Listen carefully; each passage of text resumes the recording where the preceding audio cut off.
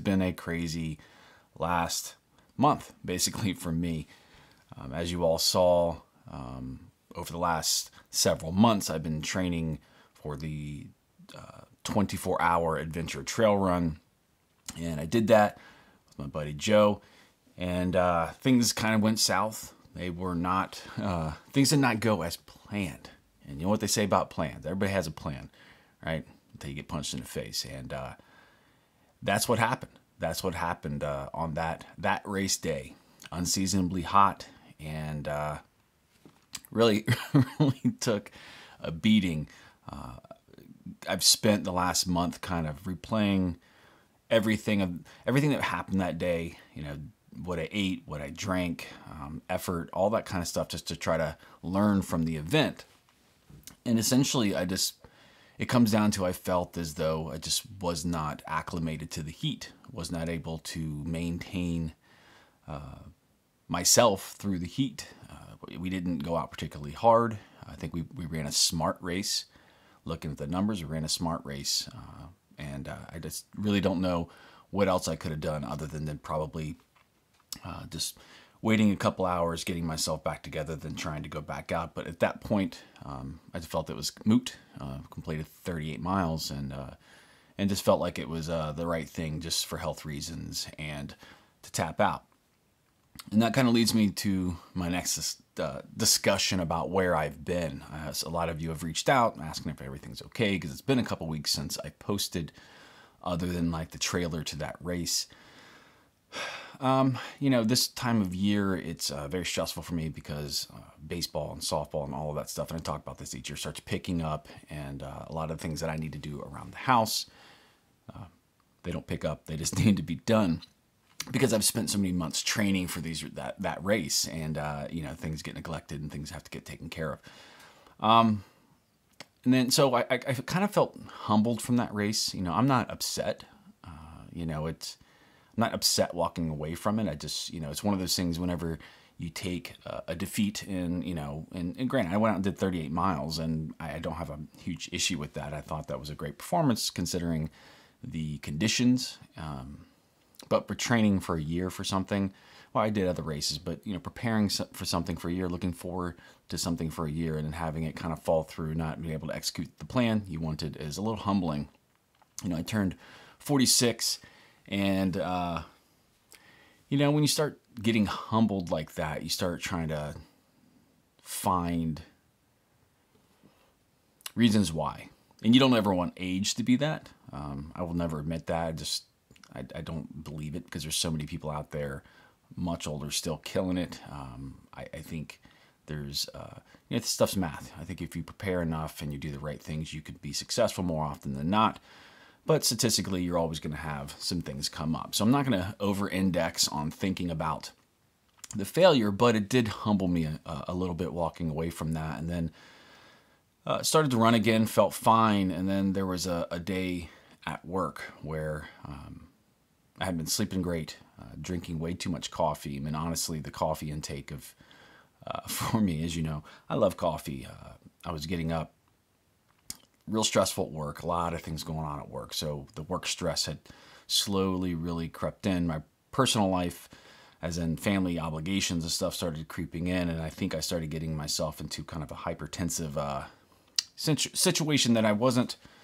uh, really, um, you know, like when they always say that, you know, frog in boiling water doesn't know it's going to, that it's in boiling water. When you sit in it, it's kind of way, the way that I was. Uh, the stress started to build and build and build and build. So, you know, I got work personal life, family obligations, and then trying to maintain a YouTube channel. And while this seems easy, you do turn on the camera. I do a lot of research. I do a lot of research for the shoes and preparing for scripts. And it takes up a lot of mental space in my brain. So it does create this constant stress. When I'm not releasing a video, I stress about it that I need to be doing it. I need to be doing. I've invested so much in time and energy uh, into this channel. So, uh, you know, I, I don't feel okay about just not uh, doing the things I need to do out here for what I consider uh, a business of mine. And so, anyways, circling back, I'm kind of rambling, but I'm getting to it. Uh, at work one day, uh, I, I had I had had probably maybe 40 ounces of coffee up until about one o'clock in the afternoon. I hadn't eaten anything, and that morning I had gone and purchased a tropical smoothie, which I do often. But I didn't drink it. Usually it's cold, and I don't drink it very quickly. I drink it over, you know, maybe an hour or so. But in this particular day, I had I was just so busy. I put it in my refrigerator in my office and uh, forgot about it. But then around one, you know, I hadn't eaten anything, and I am hopped up on caffeine because I'd had so much. Uh, so I decided to drink it. Well, I drank it probably within about 30 seconds and um, working, looking at my phone, looking at the screen at work, and my vision got blurry really quickly. Like it just, my eyes started to twitch, and it was a very strange feeling, um, which immediately put me almost into a panic. It was kind of like that feeling when you have uh, hypoglycemia, something like that. Like it kind of felt like that. Oh, I don't feel really good, and uh, my heart rate, which is uh, an average, I have an average heart rate of about 45. Um, and it's probably usually around in the 50s, low 50s when I'm sitting at my desk, and maybe 60s depending on the level of stress. Heart rate shot up to like 110. And then I really started to panic. So I had an, uh, a person that is an EMT that works for me and uh, went over, talked to her, and said, Hey, you know, can you keep an eye on me? I, I, I feel weird. And within about 10 minutes, all the, the, all the symptoms kind of subsided. subsided. Uh, my heart rate uh, had kind of dropped down more to normal. My blood pressure was up though, which was concerning. And so, being 45 and uh, knowing that I had just gone through that really stressful uh, event at the 24 hour ATR, and it really was a lot of stress on my body. The amount, how bad I felt in that race, and I still need to finish editing editing that video, and I'll get back to that in a second. You know, I've heard things about your is it cortisol levels elevating, and there's some things that can happen, the stresses that can happen in these ultras, uh, things that can happen to you that could take weeks or a month or so to uh, get better. And, and, my mind started to, I have a tendency towards anxiety and all of that kind of stuff. So, I mean, it almost put me into a panic attack what was happening to me. I went to the doctors and they ran EKG and blood work and uh, testing for thyroid issues. And they did all of these tests and everything came back normal uh, which is good. I'm, I'm very happy for that. So overall, I'm healthy. Uh, so that was a good thing. Kind of forced the hand to make sure that I go and uh, get my body checked out, and my health checked out. Um, that made me feel much better. And then I monitored my blood pressure over the next week. Uh, I cut out caffeine, pretty much cut it down to about 10 to 12 ounces in a day. Uh, the first two days, first 48 hours after that event, I didn't drink any coffee, but then the headache started to come in, so I started drinking a little bit of coffee. And I've been mixing in some decaf that has, you know, maybe a quarter uh, of the percent of normal uh, coffee.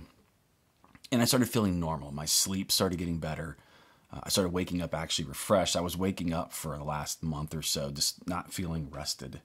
Uh, and not doing anything else, not feeling like my sleep was bad, just not feeling rested. But when I cut the caffeine down, uh, I slept better. Common sense, I know that. It's one of the things you know um, you should probably do. And uh, I don't know if my sensitivity to coffee changed, um, but uh, I'd like to say over the last week, my blood pressure went back to a normal level, and that's what the doctors wanted to see. And so I basically kind of paused running and kind of paused things just to kind of make sure that I was okay. Uh, with the editing, uh, of the last race video. It's been a while, and uh, it all of this together this uh, killed my motivation for wanting to edit that. I just it's like going back and editing a loss and like a you know I don't know if you guys record videos of like uh, games of your kids or things like that, or you. Um, I know that's kind of a weird analogy or trying to draw a relation there, but it's like when you lose, like it's not a, you don't have a huge motivator to go back and you know do that thing, to relive that moment. And that's kind of what happened to me. Um, I had a great day. It was a it was a great day, as in I got to hang out with Joe and with a buddy, and we got to talk, and that was awesome. That part of it uh, was worth it, worth the worth the price of admission. So that part I'm not worried about. It was just and not again like i'm not terribly tore up about the race it's just one of those things that's just not motivating to go back and uh, and edit that. So I am editing it because it was a it was a fun day, and I'm, I'm getting to it. I did the trailer, which the trailer's probably going to be better than the video. I should be saying that, but um, you know, when I got to like the last lap of that race, I just didn't even turn on the camera. I felt that bad. I mean, I can't explain to you how bad I felt. I've never felt that bad in a race before, so it's good. I got to learn something new. I got to learn uh, unlock a new fear, uh, which you know, made me question whether or not I'm even gonna was was even gonna do the hundred miler. Uh, you know, two weeks ago, and I was probably fifty percent uh, in my mind, uh, just because I just took and I, I, just had that happen in the race, and then this weird event sitting in my desk, like it, everything and the stress and all of that, and I kind of just started working on kind of meditating and, and breathing exercises and just uh, lowering my stress level because I'd gotten to a point where I just wasn't really noticing how much stress I have on me for what I do uh, for a living. And uh, yeah, got to take care of yourself. And I'm okay. I am okay. I'm feeling better, feeling more confident. I took uh, this last week to kind of take off. I'm probably going to go out for a run today just to uh, just to relax, just relax and enjoy what I love doing. Uh, and it's you know when he, when all of this is boiled away, it's left with uh, what's most important, and, and that's just but I love running and I love doing it from health and I love sharing all of this with you. You know, when I when I when I started this channel, I always talk I want to talk about wanting to help others, inspire others, and show as much real stuff as I can to to to give somebody an accurate picture of someone that's like you. Um, you know, I'm a dad, married father, um, not a, an elite athlete. I'm uh, one of you that just so happens to have a YouTube channel and some knowledge, and uh, and I want to share my uh, wins and my fails with all of you, so that maybe you can then learn or at least relate to somebody else doing the same thing you are. So I'm sharing these very raw, unedited thoughts with you. Uh, I know this video is a little long, and I hope you got through this. And if you got to this part, I really appreciate um, you you sticking around and listening to me, and uh, hopefully, hopefully um, better days are ahead. Uh, some hard training is coming up for my 100 miler in September, and I'm looking forward to it. I'm getting the confidence back, and I'm getting uh, getting my mind right. I'm going to a very very busy uh, summer with summer baseball and, and, softball and stuff like that. So it's going to be uh, extremely difficult on me to maintain uh, really good training uh, discipline. So it's going to take a lot of me getting creative and, and, and really pulling myself up and uh, doing what I need to do, getting up early and, and doing all of those things and, and not letting the day get away from me. Uh, so, and maintaining stress and maintaining stress. So, uh, I will leave you with um, a great video right here. Go ahead and click right there. I will see you in the next video. I appreciate you sticking around if you stayed around this long. Remember to, to smash that like button, and if you haven't subscribed, please do so. Thanks for watching. I'll see you in the next video. Take care.